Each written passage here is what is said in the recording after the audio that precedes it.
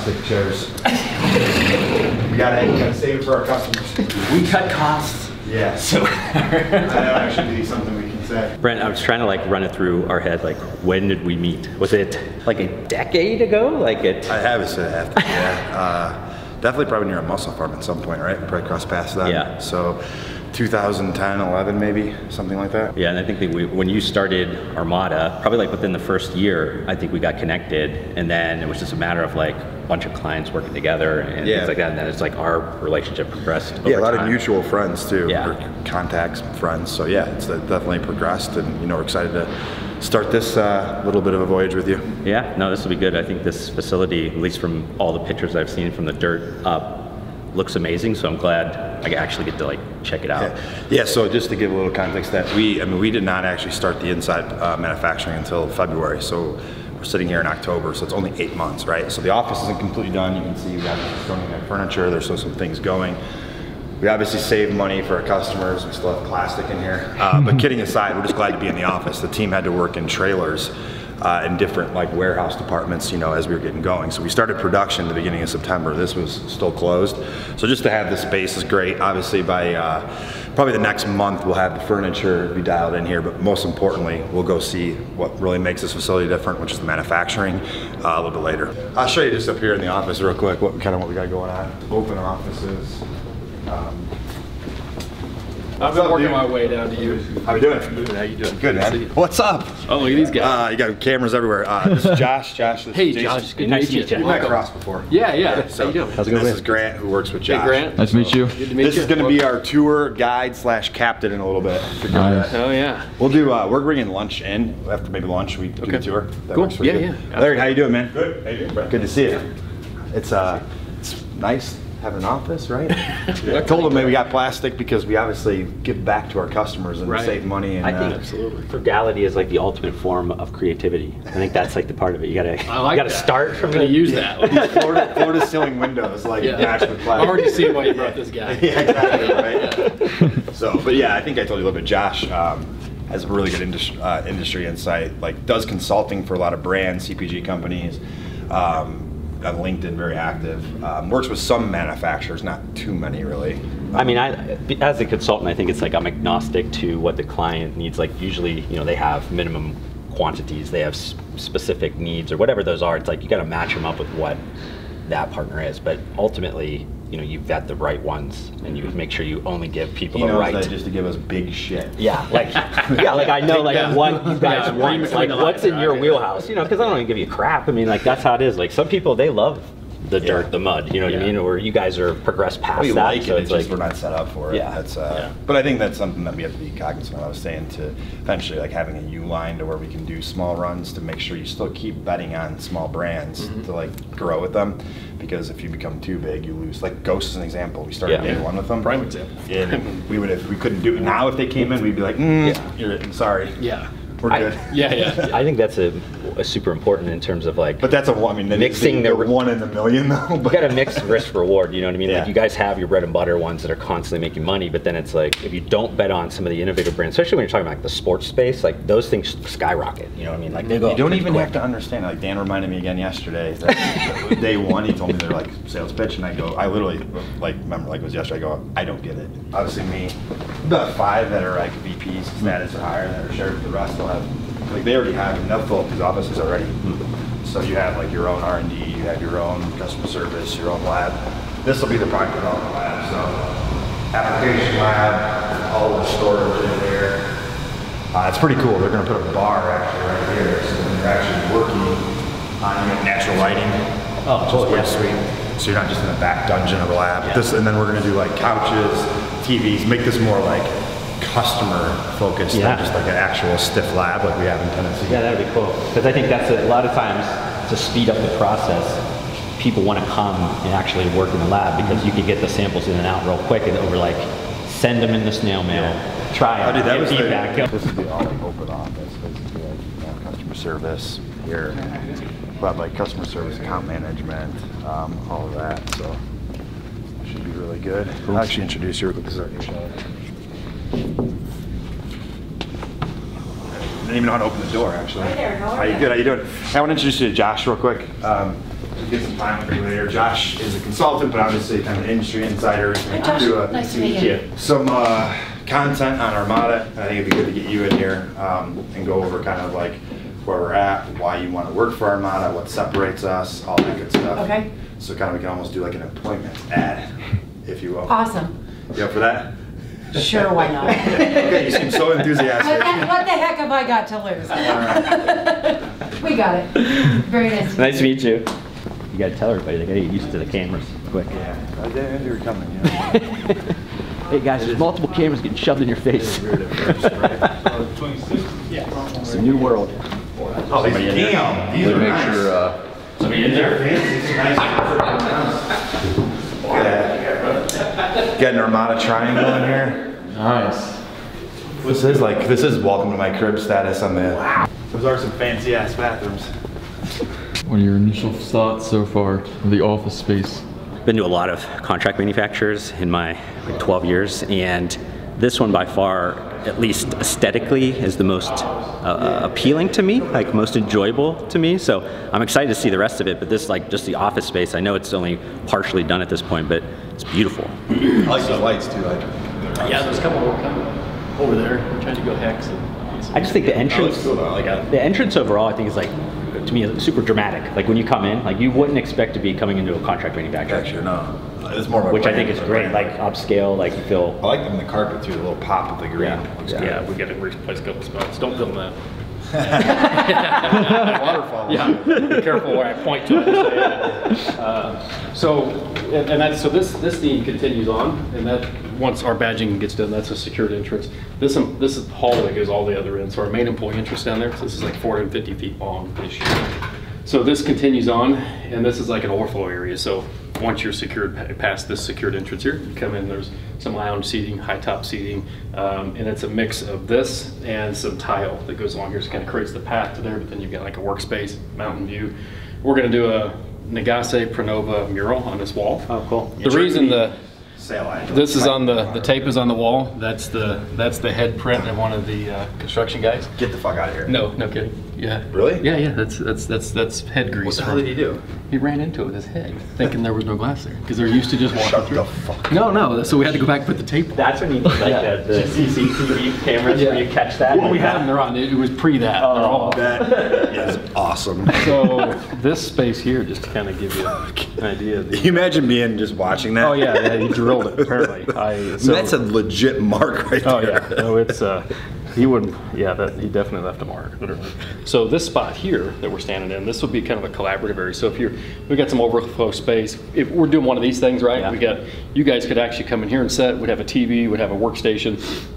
Some lounge seating over Cool. here, and then because he's never off of his phone, like about five minutes in between, he could go over do a call, pop Yeah. back out, go do a call, pop back out, right? Move, and move, so all in one space, and everybody can have their. I like so- that you guys are like thinking about the experience that, uh, like, if a customer wanted to come in and spend the day here, like, I think a lot of times you're like, where do I post up? Like, I feel uncomfortable. I feel crammed in. I don't know where to go. Where you guys are like, Awkward. okay, let's let's set it up where like people we welcome them in. They can feel comfortable. They can spend the day, work Mm-hmm. through some innovation, work through whatever if the product's running. They can check some Yeah. QC stuff or whatever, and just it's a lot more inviting, which I think is great. Like, I don't think people think through that process. Yeah, we've learned from Trout and Air in Tennessee. Like we've had so many customers stay, which has been great at places we house people all the time, but it's it's not set up perfectly for Yeah, it. you're right? stuck in that, that conference room. Well, again, it's so far away from production. Yeah. The great part is here is we're going to walk out these doors and you're going to be in production. I'm gonna tempt that one. Yeah. It'll be a one-way glass eventually too, but. But you're right here. next, Yeah. So uh, this was originally like customer service, so we just like re rethought it, right? From a customer. Which I think is a you smart idea. It's customer collaborative. Yeah. So you love can come, that. you could do exactly what you guys doing upstairs, have your own space, bounce to the main conference room for, you know, to a more collaborative meeting with the Armada team or whoever. And then you guys need your own space, boom, you come back over here, you got a private pod, you've got your own, everything works. We're gonna frost these windows to give some privacy, but still not, you know, take advantage of the light. Yeah. You know, all throughout the space, Yeah. so it's- it's good feedback. Especially like too though is like one thing that's crazy. Like we're now that we're not with startup brands, brands are very particular to detail. So like that stuff does matter. It does. It matters a lot. Like I mean, you think about the type of owners now, this is generalizing some of them, but I think who they're partnering with wants to resemble who they are. Oh, yeah. Like, so they don't match up, and if you think about where things move from like traceability or transparency, you're gonna know who the partners are. They're gonna know that Armada makes it, and then who are the suppliers that, that Armada is using. All those things need to line up because if they don't, ultimately, you know, we're talking maybe 10, 15 years down the line, it is gonna come up in the customer's gonna go, this doesn't make sense. Yeah. Like this, well, how do you partner with these people, but you're acting like you're this, or you're, you're you have that, or whatever. So I think it makes a lot of yeah, sense. it definitely does. Product, any powder plant, right? It, it all kind of flows the same. Raw materials in, What's that, layer room, boss man? measuring. Everything runs east-west through the building, and that'll be why that's important to make more sense. Here in a little bit. We'll talk about expansion. So on uh, here, we got to go check these out too. Uh, more bathrooms, more guys in bathrooms. I don't know what kind of video we're posting. This is this is for the OnlyFans exclusive content. Whoa! Nice clean locker room. So our whole team member experience too, right? It's about being a preferred supplier, but also being a preferred employer. Yeah. Yeah. In a very competitive space. I think we're competitive on wages, not the highest, not the lowest, but we've, we've created a way for employees to improve and grow with the company and with a very good starting wage. Yeah. But also when they come in, the whole experience, they're like, yeah, this is not the normal like co-manufactured locker room for Yeah. sure. This is kind of like a college locker room. It's been it's been fun though. Is like this is an example of like in Tennessee, we've kind of patchworked our locker room. Yeah. We're gonna put in the budget next year to redo it so that you start kind of this is up in the game. So this hallway, I, I, you kind of tell we when we look at some of the pictures, and I show you some of that, like where it started. Right, this was just freshly poured concrete, four walls, and as soon as we took over in middle January, we came in and cut all this out, put all the drainage in, a lot of steel that you'll see for all these mezzanines in the structure. Uh, we've got all this planned to epoxy. It's not going to get done before the opening. Yeah. It's two weeks. still looks pretty good. Though. But it looks pretty good. But with, you know, over time, this will start chipping out. We'll start harboring Yeah. just stuff that you can do. Is it gonna be clear epoxy, or you got like a color, like a We tint? got, a, we got a tinted epoxy to go over it. That way you hide all this. Yeah. So. Obviously, not a super hot day outside, but this is not climate controlled. This building is exceptionally well built in Yeah. terms of insulation on the roof, on the walls, everything. This is just ambient conditions. We're climate controlled in all the food production space. Uh, but even at 100 degree days, we had a lot of here this year, this summer. You come inside, it's a, it was easily a 20 degree difference, if not more, from outside to inside, just in the general spaces. So really, really nice building. All of these rooms have high-speed doors on both sides, positive air pressure, so we're pushing air out instead of sucking air in. And we have eight individual rooms, so we can work on eight production work orders at any one time. We have two operators in each room, so there are scales uh, on the on the benches, on the floors, barcode scanners, iPads for all the operators to interact with our quality system, our maintenance system, our production system. Um, we measure all that out. Everything then, uh, what material we of course don't consume, goes gets relabeled, goes back in inventory, and then the rest of it comes out and gets paired up with full pallets of material, ready to go in the blending process. No wood pallets in the production process, so anything that comes in on wood, we take it, put it on plastic. Um, anything that we transfer, we put on plastic, and everything then goes up to the up to the deck for blending. So in context, we have four weight rooms in Tennessee. We have eight here. So which is a lot of times when we get going and we're blending a lot, our biggest constraint inside uh, Tennessee is the measuring process. I think that it's an important point where you're saying, you know, you went through the process with the Tennessee facility, and obviously you, you know, made do and, and, and iterative and kind of did it. But when you're starting fresh, you're like, okay, where are our bottlenecks at? Where do we know like we're always kind of struggling to get quicker, and then you can improve that here. Yeah. So we, I mean, that's why you'll see a change in blending. Like Tennessee, I mean, honestly, out of most country manufacturers' facilities, really good. I mean, volume we put out of theirs is about as big as any site in the U.S. So not bad by any means. But like, I think if we we decided to change the blending process and we use ribbon blenders in Tennessee. Which have got us through. They work big volume, but here, um, and this has been great. Jason came from a company who previously used it, but it's called MatCon which we'll go to. So the biggest change is our blending system, but then obviously how we're feeding it too is we know long term our biggest bottleneck will be legit blending, measuring. So obviously more rooms, a different blending system that's a little less constrained by the amount of blenders you have. Now there's blend stations we'll go into, but the beautiful part is uh, when Jason took the project over, we actually expanded it the first phase was literally to get to where we would be today, and then we'd have to expand. What they did is we ran basically the whole building, the electrical, the HVAC, everything for phase two, which phase two is sitting on Jason's desk to put the orders in. So we're actually already going to double our blending here in the next, we'll order it probably quarter one, we'll start the process. Uh, but that was a great thing we did. It was by getting it all ready, so we won't have to stop production. We're just going to add actually more to it. So that was a huge thing. Whereas Tennessee, the way it's set up is you'd have to stop a lot, and so yeah. And what, Jason will go into the Well, MatCon system. Case in point, so as we touch on that, so as we we have a mezzanine deck, we have three mezzanines in the building. So we're 438,000 square feet on one level. We have three mezzanines, one office with conference room, training, all that we looked at, right? And then two production mezzanines. This mezzanine, we basically take the raw material up, goes up an elevator shaft, goes across the deck, and then there's an, a, a, a room above, immediately above this that looks identical. We dump that powder down through the floor, and it goes in those large stainless steel bins called an IBC. That's part of the MatCon system. So um, everything is all completely enclosed in those rooms, positive air pressure. Um, so in terms of just uh, from an allergen control, customer to customer, uh, cross contamination control, um, honestly, best in the industry. There's nothing like it. We've been in a lot of powder plants you have too. So just in terms of that, being a co-manufacturer, we're setting a new, setting the standard. You know. So this process, and we're not actually blending here now. We're caught up with blending. They're weighing out more. But those large IBCs attached to this machine, and I, I can show another video, and we can we can add one there Yeah. too, and, and some video. Um, but basically, it clamps in place and then it just spins. It's a very uh, the product. The process is very low impact to the product, so it's not like a traditional blending system where you have moving parts inside and you can get a lot of shear, or you, can- you can break down the material. Um, and also, just the way it blends, you get from top to bottom uh, consistency. Um, the homogeneity from top to bottom is is whether you pull from the top, the middle, or the bottom, you get the same product. Um, the uh, each of the IBCs, um, will hold, you know, they're 3,100 liter. Their hold is, is the size of them, so they're, they're roughly eight feet tall. Uh, they can hold up to 5,000 pounds of dry material, um, and you know we're blending in 20 to 30 minutes, depending on the product. So we're the only company in the state of Utah, not even Powders Nutraceutical, to have this system. Um, large investment. It's best in class for what it is, and it's something that. Uh, um, I, I think that it's going to further set us apart. We have the extra space there again. We have two more that can go side by side. Everything is there ready to go.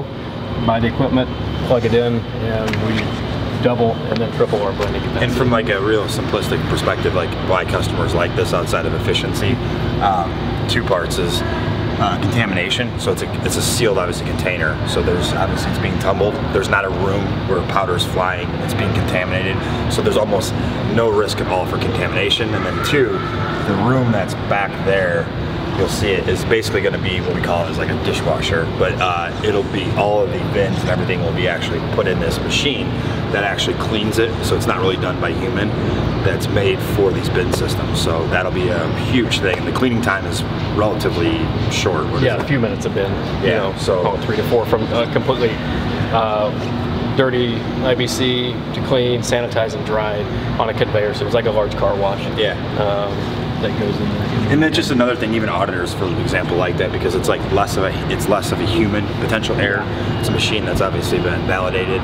Um, there's so many different reasons from a contamination allergen perspective. People like this system versus open room ribbon blending, so on and so forth. So that's interesting. And then the last piece is you can layer, which I think Jason kind of alluded to from top to bottom.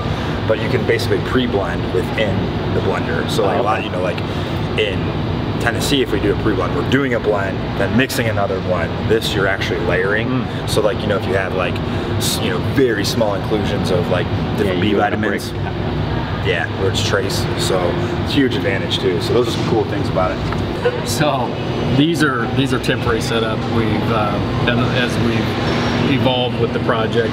We're trying to add more viewing portals, right? So you can see without having to go in and disrupt the process. Uh, we have some of our ventilation or dust collection is just now coming online. Uh, so you know this is our our heaviest powder production in terms of throughput. Uh, but dual head filler. This is a will be a completely automated line. We have a couple pieces of automation yet to come in here.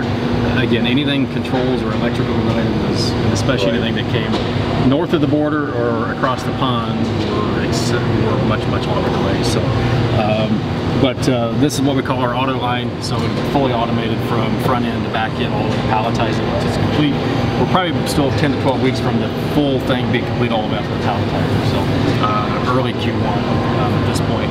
But um, this is uh, really tool to make granular products, so pre-workouts, aminos, nootropics, you know, anything that's uh, has a high bulk density and small volume.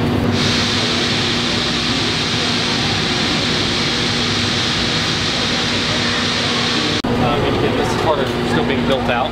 Uh, we've got you know temporary wiring cabling on the floor. Everything goes up overhead, uh, gets up out of the way. Uh, most importantly, the first thing to point out everything that comes out of any of the GMP food safety rooms is all completely sealed and closed, no open product.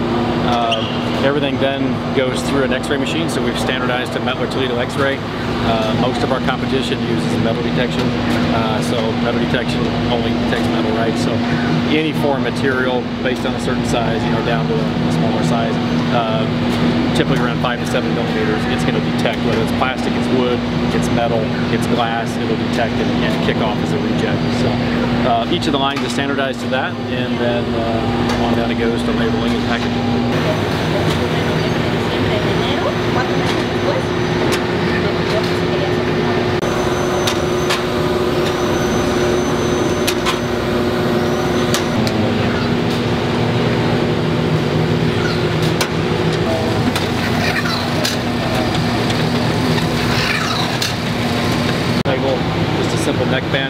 Some of the automation that's still coming yet, uh, but it's all factored into this line for the final build out. And then at the end of the line where we're hand case packing, this line has an automatic case packing solution, uh, stretch banding for you know six count, eight count um, if it goes into retail, some of those and then a full automated palletizing at the end. So there's little to no human touches of actual product design. It becomes replacing material, uh, loading up uh, uh, you know a, a printer, uh, a labeler, that type of thing, replacing the cardboard and pallets and things in a, in a palletizer. So fully automated. And then the next iteration of this packaging area is to automate the entire end-of-line solution. Case packing, palletizing, uh, so little to no human touch even end of the line.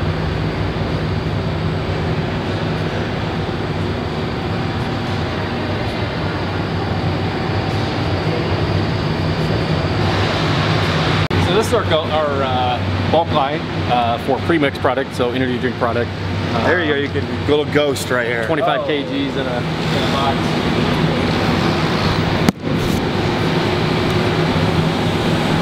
So yeah, this is um, this is pre-mix. I would Um, say for people that don't yeah. understand premix, like for for energy drinks, This is think good- that's like a This confusing. is a plug for Arma- uh, the Armada Solutions thing too. Yeah. It's perfect.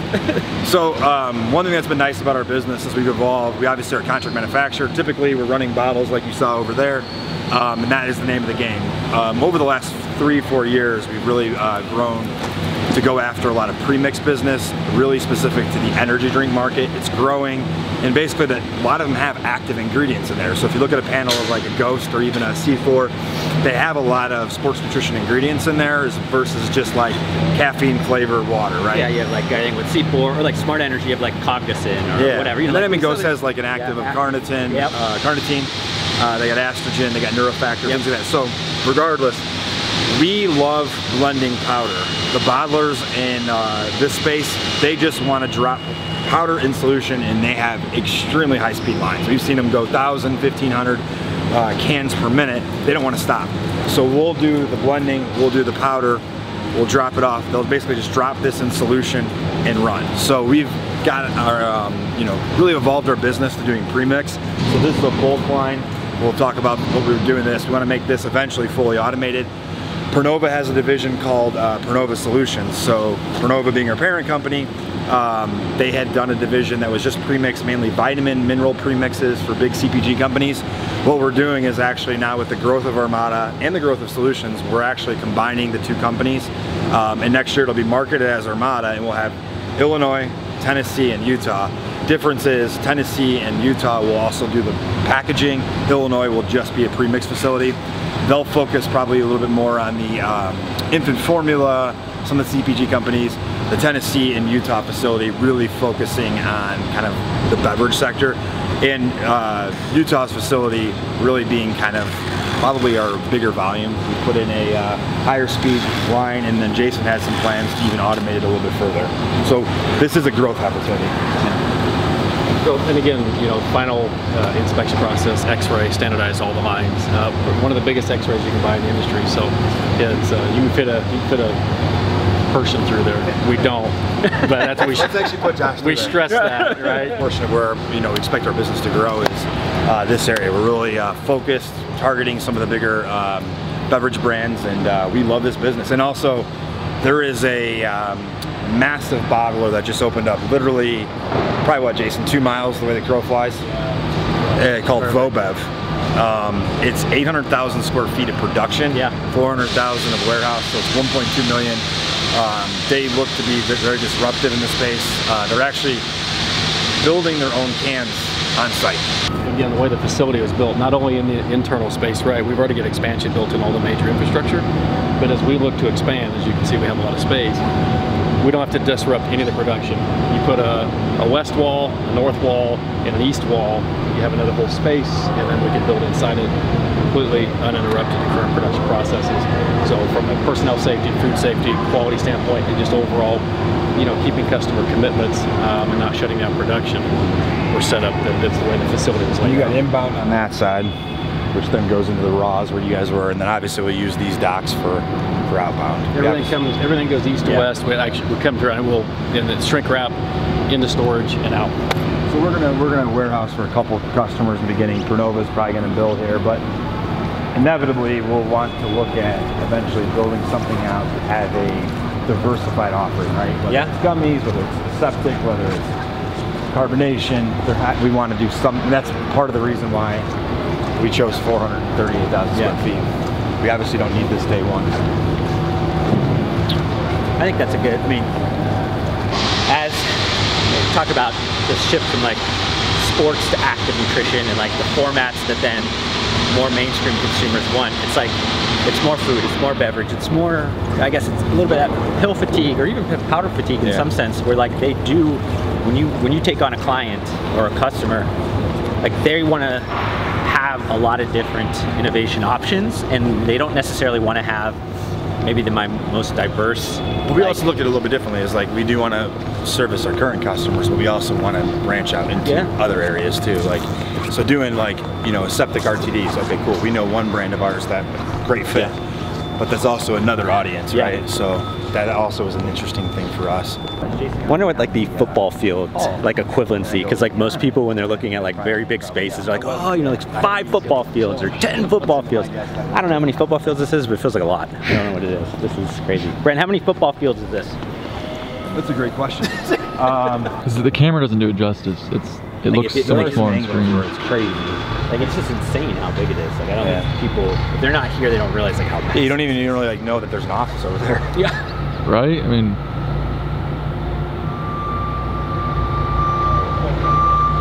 12 football all right, fields. 12 fucking big. football 12 fields. football fields. Yeah. on one Cool. level. We may have a rec league out here. We could at least spare one. Right. One. Get the Packers out here. This is like the um, the supplement Candyland, or what do you what do you call this? Like Willy Wonka, the is- supplements. Yeah, yeah, it is. It is. We, we kind of This is the first time we built it and hope they come. uh, you can see right here we have WPC 80. What that is is whey protein concentrate, sunflower, Leprino. Leprino is a Denver-based company, privately held. Uh, you can look it up. They have some interesting articles. That's still privately held. I think that it's like they have an article that the owner is like 82 years old, and it's like the richest, quietest, four billion Yeah. guy you've ever met. The cool thing about this is it's all mozzarella cheese. That's why we like it. So basically, the consistency of the color and taste is always spot on. It's only mozzarella cheese. A lot of the other guys, you know, mix. They buy different uh, from different farms, so on and so forth. Cool thing about Leprino is uh, cheese is their number one game. They have a 100% supply of Papa John's, Domino's, and Little Caesars. Three biggest pizza chains in the U.S. They have a 100% cheese supply. Last tidbit, they created, I think, one of the greatest foods of all time, stuffed crust pizza. Or the, or the cheese. And think about that. What a genius idea, right? They needed to find a way to sell more cheese. What they do, they stuffed it in the actual crust and sold it. Brilliant. Yeah, there we go. So something that I guess I want to ask you is that this is, I would say, arguably in the U.S. probably one of the meccas of like nutraceutical manufacturing. Because of that competition, you know, brand new facility, like from a recruitment and all that standpoint, like how's everything been? Well, the market's tough, as I'm sure you're Yeah. aware. um, and it softened for a little while, but the interest that we're getting is phenomenal. And the quality of people that we're getting. So we're kind of in a really unique position because we could kind of pick and choose what Yeah, we want. that's good. Versus having to be pigeonholed. So it's been it's been a lot of fun. It's been very interesting, and meeting people and getting to know them and their background has been even more interesting. It's awesome. So it, we're getting there. It's it's Yeah. tough, but we're getting there. Does it make you nervous all that space equals then multiplying people over time? I mean, what's kind of the play? As I see all that space, I'm like, that's going to be, you're going That's from 100 to gone. 200 to 2,000 Yes. to, it, you know. exactly. It's it's exciting when you stop and you think about it. Obviously, the building is beautiful, uh, like construction, everything like that. So when you're coming in and you're thinking about, you know, working at a place like that, I think you're proud of coming to work. You know what I mean? I think anytime we're talking about this, like we just went through this like time where everybody's working from home. Well, I know like when you're here, sometimes you know everybody in the back still has to come here, but Yeah. you know, you still have I think an element of wanting or having things that are above and beyond just getting paid that brings you in and wants you to keep coming into the office. And I think one, the, the building, but I, I think team, you know, anybody that I've met both from here and the Tennessee facility, great people, great people to work for. So I mean, like, I think all that stuff cumulative is going to be in your favor. I mean, when you guys are looking for for people. That's the culture that we're trying to build. Those we want people who are going to come in and not just look at it as a job, whether it's hourly, whether it's salary, whatever the case may be. I want to see them come into work. I want to be able to say hello to them. They smile back at me. They say hello, and it's a culture.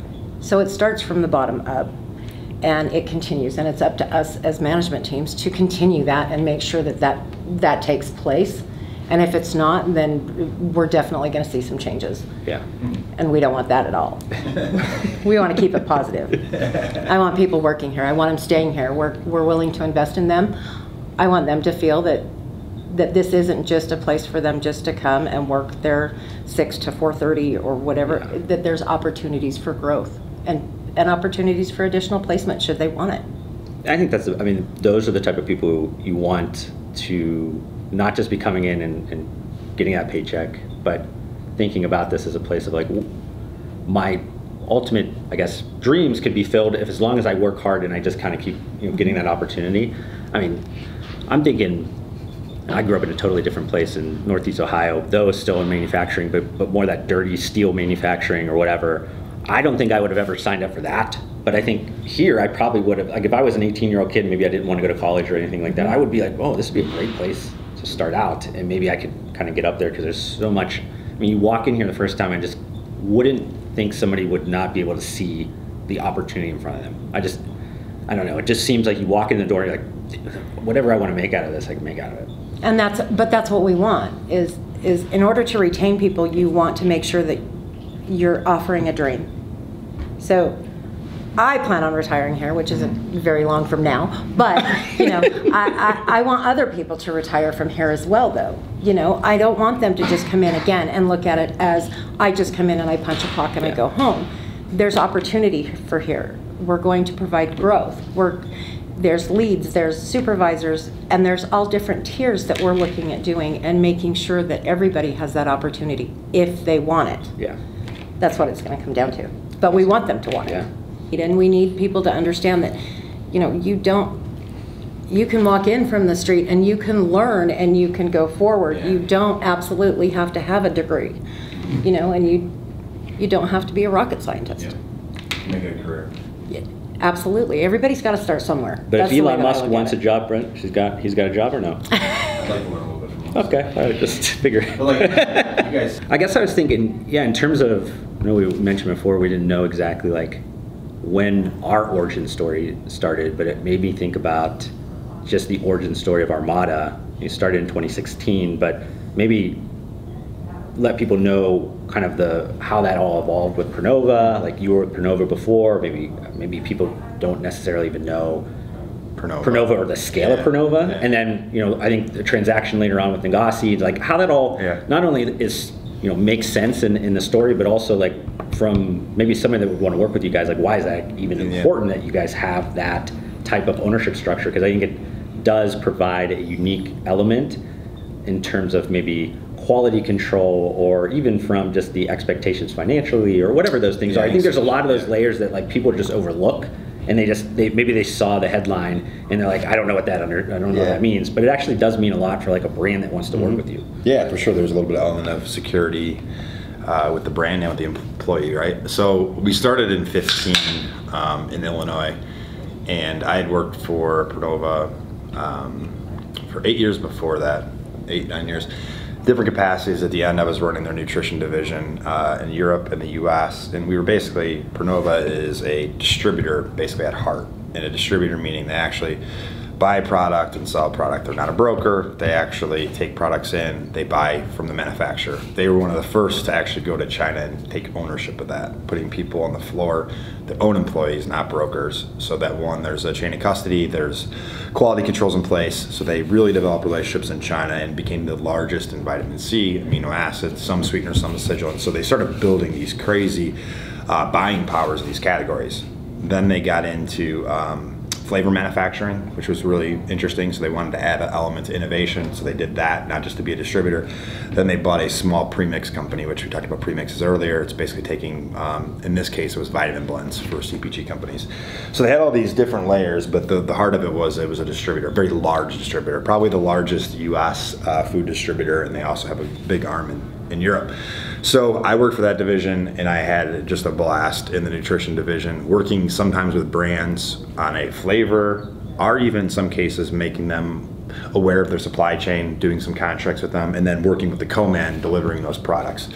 So I got an interesting side of um, brand contract manufacturer than us being the supplier. So it always was a, you know it was a quick learning curve for me because I got my hands into all that. What I did learn over time is like Prinova was vertically integrated, but we were missing the last piece, which was contract manufacturing.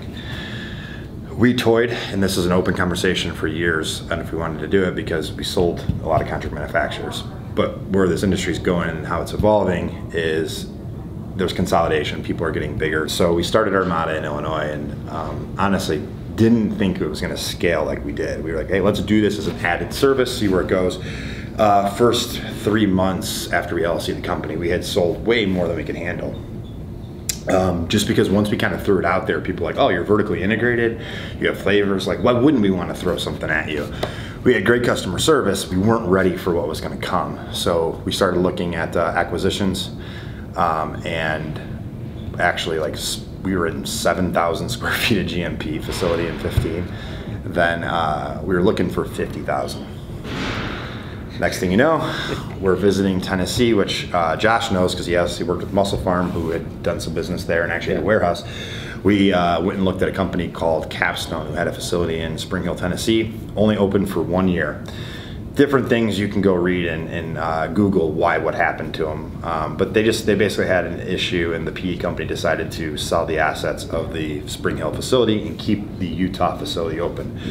We went there like kind of a look but don't touch mentality because like I mean we were three months old. um, I know from my cash perspective I didn't have the money to do that, and um, so we went there, looked, and we kind of thought about it on the flight back, and like we started talking on the flight back, and it went from like no chance to like we're kind of the what ifs. Yeah. And then by the time we landed, we're like, let's pursue this in a different way.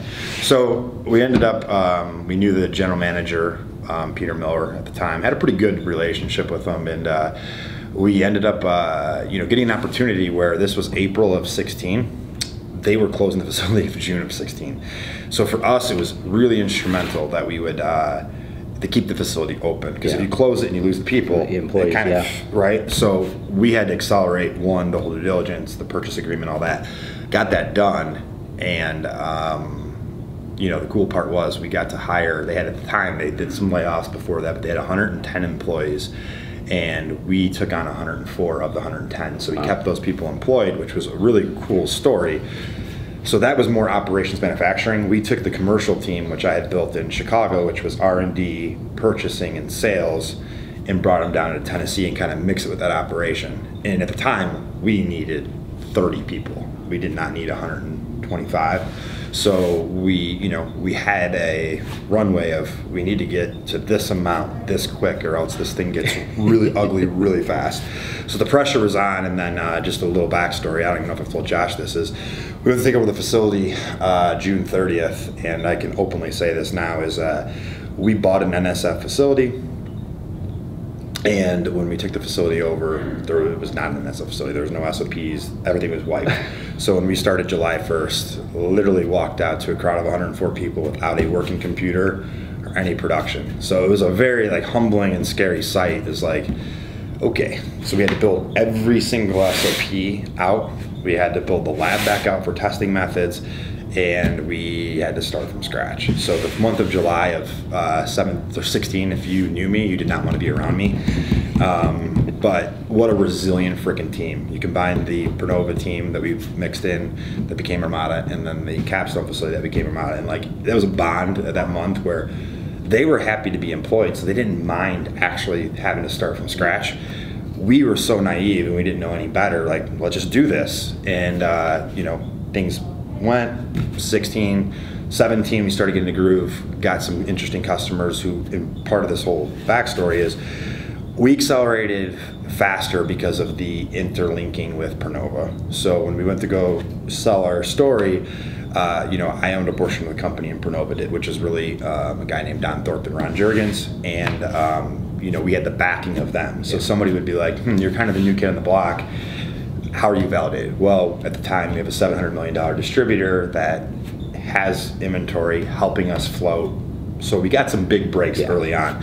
So we got the scale um, pretty fast. 17, 18, we focused on just scaling up, continuous improvement, and started really humming. In 18, 19, we were, in my eyes at the time, blowing it out of the water. Obviously, looking back, obviously, there's a lot of things we could have done, but uh, interesting opportunity came. Um, Don, who's the owner of Prinova, um, had an opportunity to sell the company. And it wasn't really on the cards. It wasn't something we are looking to do. I, particularly for Armada, was, you know, we're year four going up. I did not want to even really entertain it. But then uh, they wanted to buy the whole company. They wanted to buy Prinova, and then Armada was a separate LLC, um, but they wanted to, to roll it in Yeah. and do it. And uh, I was kind of, it, I wouldn't say against it, but it wasn't the right time for me. Started talking. All the companies that were interested were all uh, strategic, and obviously you've done a lot of videos on this. Is you know there can be somewhat strategic PE, but there's there's PE and there's really strategic in two levels. There's a lot of some other things, but like strategic, the company that ended up buying us, which we'll talk about, is called Nagase. They are a couple different layers of uh, things, but they are a food company an electronic company. The food company wanted to expand in North America and Europe, and they saw that they've tried many times to put you know their people here, and it just didn't go. Um, so they decided, hey, an acquisition is what we want to do to grow the business. Then they got in and realized all the things we were doing, and uh, it was just a great fit. They really, you know, wanted to just give us the capital to, to grow it, which we would need, and also, you know, infrastructure. We were so lean and mean to scale and to think bigger they, you know, they're eight, at the time they were an eight billion dollar um, company with just more resources, uh, more intellect that could help expand, more strategic people, and they helped us on that side. But they did not really want to touch the kind of like high energy entrepreneurial spirit of Prinova Armada. So you know, we're sitting here three and a half years later, and they have not slowed the train down, and we're sitting here a much healthier company. Um, when we sold to today, almost have doubled the Prinova business in three and a half years. So great, a lot of good people a part of that. But if we did not actually do the acquisition, there is no chance we would have uh, been able to do that from just a cash flow perspective. And you got to remember during COVID, supply chains worsened to ever. So the amount of inventory you were carrying, Yeah. we, they let us be opportunistic and build good relationships with customers by holding more inventory, right? Because you couldn't control how long things were sitting at port. You couldn't do this, couldn't do that. Some people were restraining cash. So Nagase's like, this is an opportunity to show customers who we are, what we do. So they allowed us to go way beyond, beyond what the working capital requirements were and hold inventory. And we grew the business and we're heading in now to where the supply chains are getting a little better, but we've had a lot of loyalty and a lot of companies who we've been validated with because of Nagase's backing, right? So when you tie it all in, is like, you know, we started Armada because of Prinova, the vertical integration, the flavors, all that. And then um, the Nagase piece wasn't part of the strategy, but looking to where we are today, sitting here in Utah, we would not have built this facility if Nagase hadn't come in, right? We had kind of some blueprints for it. We were thinking much smaller if we were even going to do it. We literally, first six months after Nagase had bought us, we're going to a board meeting to approve this. And so this is their biggest greenfield project they've ever done. Shows the confidence, but also shows that this is, you know, a big piece for their strategy of growth. So yeah, in a nutshell, that's it. And uh, you know, they've been uh, a catalyst to our growth, but haven't slowed down kind of the entrepreneurial spirit of Prinova and Armada. No, it's great. I mean, I think the serendipitous um, slash a little, sometimes a little bit of luck happens in, in business where like partners or, or things come up where, you know, they weren't in the plan, but now that you look back, if you can't understand how it could be any other way, you know what I mean? So Yeah, for sure. I think that's that's the good thing about it. And what you kind of mentioned around, you know, if it's 2020 or 2021 or even now or even the next couple of years, like when you are in a position of kind of strength or whatever, and there's blood in the streets, they say this is the best time to go hunt. Yeah, like you know, you're I mean? so 100% right. like if you they gave you the opportunity to not feel like you had to be on edge, that you could stay the course with the vision, stay the course with what Yeah. you want to do, but have the flexibility to go out and get a little bit risky when other people were, you know, Kind of risk, backing risk off. off. We're not even. Yeah. So it's really like you said, great that it came to when it when the timing happened, but also just how it came to be. But, because yeah. again, if you were by your own, or even just with Prinova, you probably would have had a much different situation for the last much more of years. defensive, Yeah. much more kind of, yeah, hundred percent. Like I mean, we look at you said a really good point is we look at 2023 and people have been asked so many times like, oh my gosh, you have to be very scared. You are opening a brand new facility heading into a recession. Of course, there's a little bit of unknown, and you know, you got to be a little nervous, or else you're just you're cold blooded.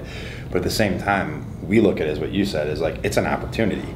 People are starting to do things that aren't even sometimes rational because they're getting scared and they're making decisions to kind of roll back the business before it even necessarily goes bad. They're anticipating, right? Yeah. So what we're trying to do is be more offensive and do things a little bit differently um, and attack in moments when people are kind of going back, right? We're hiring, we're innovative, we're expand, we're already going into phase two in Utah, which is like, you know, if you look from afar, like what are they doing? Um, there's a level of confidence, but at the same time, I think like you know, it's 2023 is going to be difficult. Yeah. In um, you know, we don't have a money tree with Nagase by any means, but like you know, cash is going to be king in 2023, and I think we're set up financially to to help support our customers, and the big guys are going to realize that, and I think start to understand that even Yeah. more. So I think it's it's an offensive mode in 2023 versus uh, sit back and play defense. Yeah, because I think anything from like a vendor standpoint, if you are feeling like you have an opportunity and you want to be able to grab it during 2023, you also have to think about who are your partners and if they're going to be able to actually, I don't want to say stay in business, Yeah. but, but be able to, you know, support your growth. Yeah. And if they can, or you're, you're questioning that a little bit, you have to go with people that you think are going to be in a position that can fuel your growth. Yep. Which, like you said, this all kind of feeds into that because I think. And they want the same in return, right? Yeah. They're they're the ones being aggressive and bullish on what they're going to do, but then they want to work with people who they know are going to yeah line up. You don't want to hear like, oh, we can only run so much Yeah. because we're not going to tell you why, but it's because we really can't handle buying extra material. We can't because it's it's hurting our bottom line. And Yeah. like they need to be with partners that are in in a strength position Yeah. that can actually say, hey, wherever you want to grow with this, we're, we're Yeah. with you. 100%. But you, you said something too that's interesting is like in contract manufacturing, and we keep evolving and getting better at this, especially from where we were day one. But like, you know, you're only as good as your customers in a lot of reality, right? So uh, vetting, being strategic, talking to even people like you to understand like you know data and trends and kind of like are we thinking the right things right? That all matters because like you spend so much time on these brands. If you're not betting on the right ones uh, you know you could be great. You could be a great manufacturer. You could be very innovative. But if you just have the wrong five brands and their business plan's not good 2023 is going to be a bad year for you. So it's an interesting. You could you, you don't really fully control your destiny in contract manufacturing, but you do because you actually vet, you build those relationships, and you you need to understand. And that's why I love like talking to you is like. I think some contract manufacturers maybe don't get into the weeds about understanding brands and influencers and all that. Like it's it's a huge piece of Yeah. like what we're gonna do. Right? I mean, when we talk about you know who you guys work with or who you want to work with, a lot of times we're talking about what's their channel mix, what's their product mix, what are they doing in the market? Because diversification is not just you know customer number it's also how do those customers operate in the environment? How are they dealing with the, the competitive environment? All, because all that matters when you know even like something we talked a lot during like 2020 when like the shit hit the fan and like things just shut off went to zero. And it was like sometimes you need to understand okay a deeper kind of Yeah. uh, you know understand wh- what are my customers doing yeah maybe you're putting still orders in but like are they actually just trying to run through a wall or are they Yeah. are they being strategic and understanding that there's things ahead of them that they're going to have to get around and they're going to have to figure out and i think uh, like you mentioned i don't think a lot of the supply side necessarily goes through that process Yeah. and that for me at least as a strategist i think of that as like that's huge risk layers And it's also I, yeah, I, it's that, and I just I mean I find that part so fascinating and interesting. So it's like I talk to some different guys who run commands, and they see some great numbers from companies, and they don't know. Oh, it's well. The problem is it's eighty percent one retailer. yeah That one retailer goes down Yeah. or has too much inventory. Well, then you don't have orders the next month, right? So that's what you and I have talked about. Sometimes, like I look at a customer and like look at the buckets of where they're selling. Yeah. Are they risk adverse? How much do they control off their website? You know, blah blah blah, and that then makes you feel more comfortable of going yeah right? Then food, drug, mass versus re, uh, Yeah. specialty, two different things too. The, I mean, I, I think that maybe this doesn't get talked about often in the space, but I know I've brought it up to you and a lot of other people. Is like, yeah, you are running manufacturer, yeah, like, but from the customer side, it's really like you're taking like a venture um, approach to like you're betting on brands. You're hoping Yeah. those brands do well. You need to hit on a certain percentage of them to, to continue to grow. Yeah. yeah sometimes you're going to not get them all right, but if you don't have a deep understanding of the space, like I don't know how you make those bets Yeah. appropriately. and who Like, you spend time on. Yeah. yeah. It's oh man, I look at 16 and 17. I had some Sammy Sosa numbers at times. You know, hit a couple home runs, but man, I struck out quite a few times too. so. You ain't got to go home, but you can't stay here.